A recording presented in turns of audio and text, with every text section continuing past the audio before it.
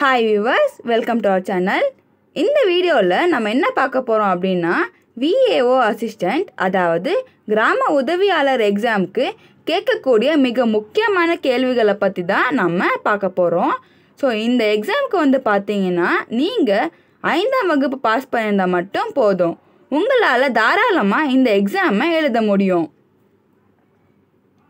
So நம்ம வந்து இந்த ஃப்ரீ ஆன்லைன் கிளாஸஸில் இதில் இருக்க எல்லா டாபிக்ஸுமே ஃப்ரீயாக கவர் பண்ண போகிறோம் ஸோ அதனால் மறக்காமல் நம்ம சேனலை சப்ஸ்கிரைப் பண்ணி வச்சுக்கோங்க. அண்ட் அப்படியே கமெண்ட்ஸில் தேங்க்யூ இல்லைனா நன்றிங்கிற ஒரு மெசேஜும் போட்டுருங்க. ஏன்னா நீங்கள் போடுற அந்த ஒரு மெசேஜ் எங்களுக்கு இது போல் இன்னும் நிறைய வீடியோஸ் க்ரியேட் பண்ண ஒரு மோட்டிவேஷனாக இருக்கும். நம்ம லாஸ்ட் வீடியோவில் பார்த்தீங்கன்னா கிராம நிர்வாகம் பற்றி பார்த்தோம். அண்ட் அதுக்கப்புறம் கிராம நிர்வாக அலுவலர்களின் பணிகள் மற்றும் கடமைகள் டாப்பிக்லேருந்து ஒரு தேர்ட்டி செவன் பாயிண்ட்ஸ் இருந்தது. ஸோ அதெல்லாம் நம்ம கிளியராக பார்த்துருந்தோம்.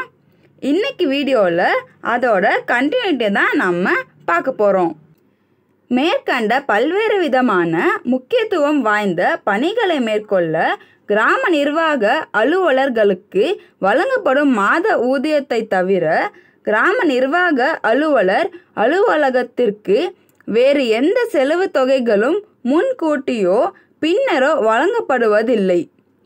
அவ்வாறு வழங்கப்படுவது உறுதி செய்யப்படவில்லை. இன்று அனைத்து அரசு பணிகளையும் விட ஒரு தனித்துவம் பெறுகிற பணியாக கிராம நிர்வாக அலுவலர் பணி அமைந்துள்ளது.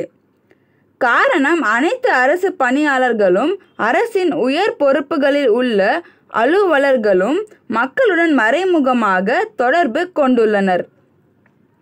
கல்வித்துறையில் பணிபுரிபவர்கள் மாணவர்களையும் காவல்துறையில் பணிபுரிபவர்கள் குற்றவாளிகளையும் மருத்துவத்துறையில் பணிபுரிபவர்கள் நோயாளிகளையும் போக்குவரத்து துறையில் பணிபுரிபவர்கள் பயணிகளையும் ஊரக வளர்ச்சி துறையில் பணிபுரிபவர்கள் மக்கள் பிரதிநிதிகளையும் என ஒரு சிலரை மையப்படுத்தியே பணிபுரிகின்றனர்.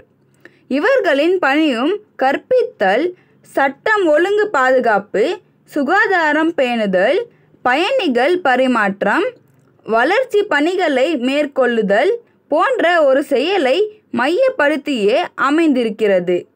ஆனால் மேலே கண்ட அனைத்து துறை அலுவலர்களுடனும் பல்வேறு வகைப்பட்ட மக்கள் மற்றும் மக்கள் பிரதிநிதிகளுடனும் நேரடி தொடர்பில் உள்ளவர்கள் கிராம நிர்வாக அலுவலர்கள். இதனை கூர்ந்து கவனிக்கின்ற போது நமக்கு புரியும். அது நம் தமிழகத்திற்கே உரிய சிறப்பு.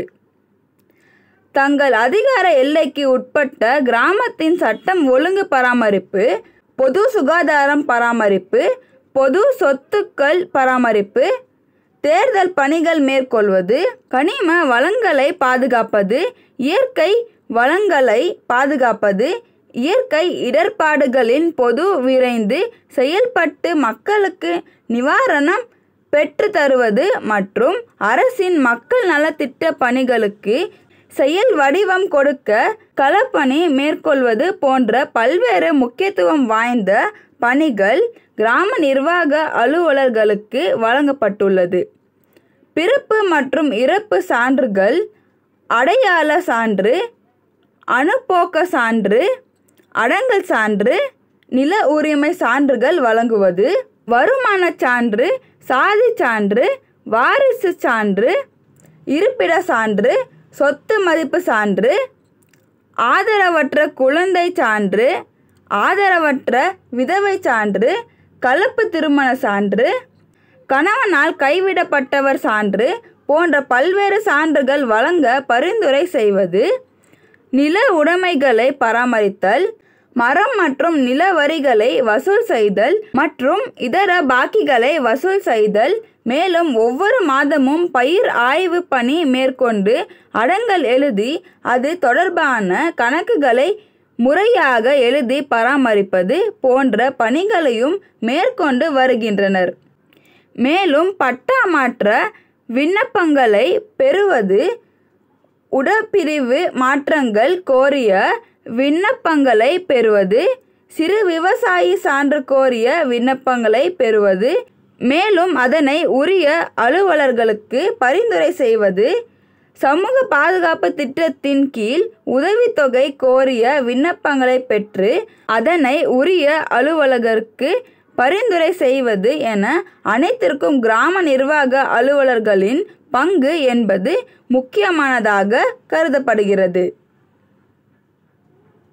கிராம மக்கள் வங்கிகளில் சேமிப்பு கணக்கு துவங்குவது கூட்டுறவு மற்றும் மற்ற வங்கிகளில் கடன் பெறுவது வீடுகள் கிணறுகள் மற்றும் ஆழ்துளை கிணறுகளுக்கு மின் இணைப்பு பெறுவது என அனைத்திற்கும் கிராம நிர்வாக அலுவலர்களின் பரிந்துரை என்பது அவசியமானதாக கருதப்பட்டு வருகிறது.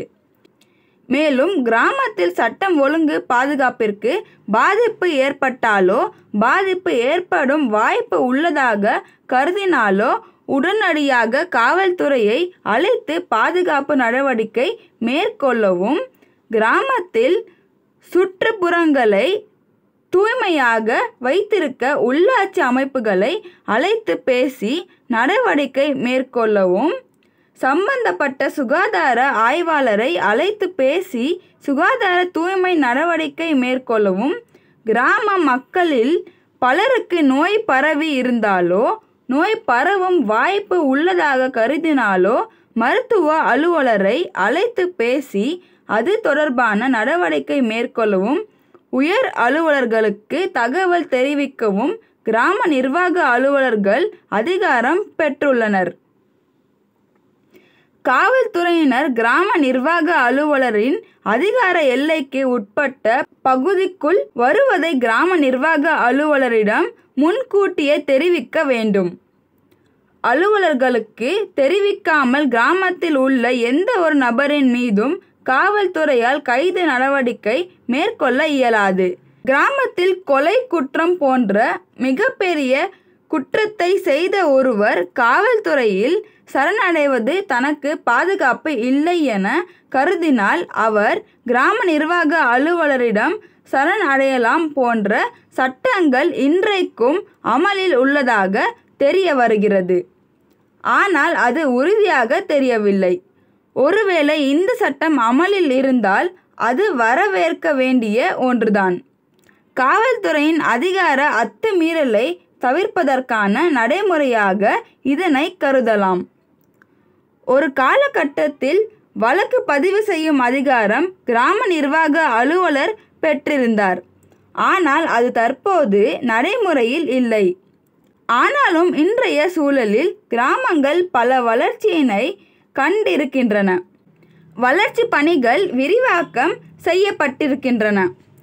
இத்தகைய உன்னதமான பணிகளை மேற்கொள்ளும் கிராம நிர்வாக அலுவலரின் தகுதி உயர்த்தப்பட்டு கிராம நிர்வாக அலுவலர் அலுவலகம் விரிவாக்கம் செய்யப்பட்டு அவருக்கு கீழ் இரண்டு இளநிலை உதவியாளர்கள் மற்றும் மாவட்ட அளவில் மாவட்ட ஆட்சியரின் கீழ் அனைத்து துறை அலுவலர்களும் பணிபுரிவதைப் போல கிராம அளவில் பணிபுரியக்கூடிய அனைத்து துறை அலுவலர்களையும் கிராம நிர்வாக அலுவலரின் நேரடி மேற்பார்வையின் கீழ் கொண்டு வரவேண்டிய இந்த காலகட்டத்தில் ஒரு கிராமத்திற்கு ஒரு கிராம நிர்வாக அலுவலர் ஒரு உதவியாளர் என குறைவான எண்ணிக்கையில் பணிபுரிந்து வருகின்றனர்.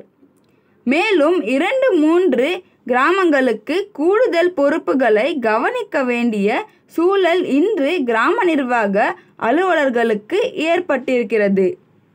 ஒரு சிலரின் தலையீடு உயர் அதிகாரிகளின் நெருக்கடி அளவுக்கு அதிகமான வேலைப்பளு ஒரு கிராம நிர்வாக அலுவலருக்கு பல கிராமங்களில் பொறுப்பு போன்ற பல்வேறு காரணங்களால் ஒவ்வொரு கிராமங்களையும் நிர்வாகம் செய்யக்கூடிய கிராம நிர்வாக அலுவலர்கள் பெயரளவில் மட்டுமே நிர்வாகம் செய்து வருகின்றனர் என்பதே இன்று உள்ள சூழல்.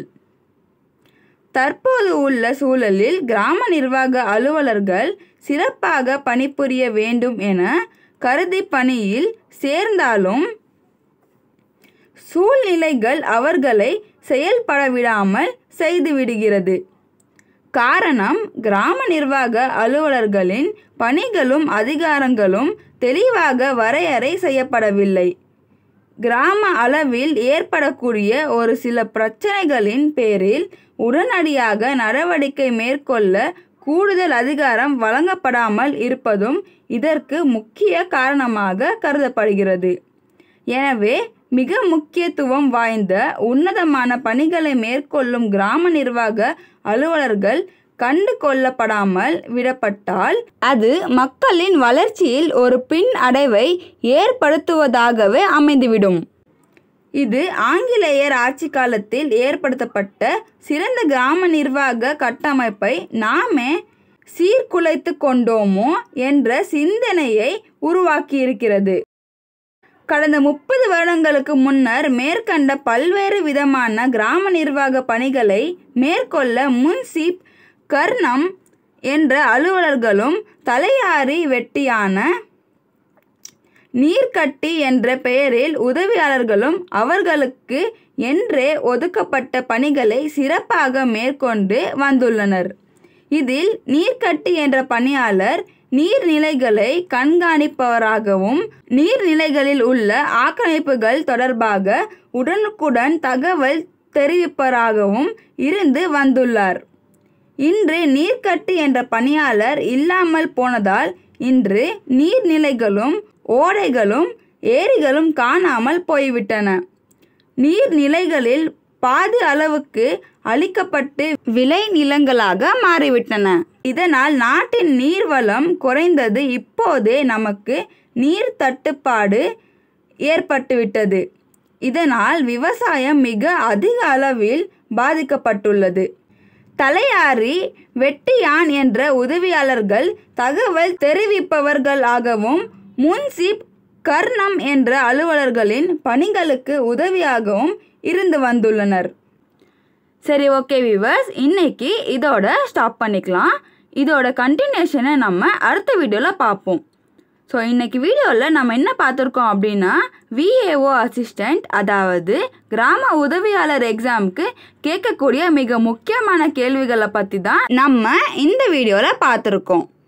இந்த வீடியோ உங்களுக்கு பிடிச்சிருந்தா அண்ட் யூஸ்ஃபுல்னு தோணியிருந்தா மறக்காமல் லைக் பட்டனை தட்டி விட்டுருங்க. அண்ட் அப்படியே கமெண்ட்ஸில் தேங்க்யூ இல்லைன்னா நன்றிங்கிற ஒரு மெசேஜையும் போட்டுருங்க. ஏன்னா நீங்கள் போடுற அந்த ஒரு மெசேஜ் எங்களுக்கு இது போல் இன்னும் நிறைய வீடியோஸ் க்ரியேட் பண்ண ஒரு மோட்டிவேஷனாக இருக்கும். அண்ட் இந்த வீடியோட எந்த பாட்டில் ஆச்சு உங்களுக்கு ஏதாச்சும் டவுட்ஸ் இருந்தால் தயங்காமல் கமெண்ட்ஸில் கன்வே பண்ணிடுங்க நாங்கள் உங்கள் எல்லாரோட டவுட்ஸுமே கண்டிப்பாக கிளியர் பண்ணி வைப்போம். தேங்க்யூ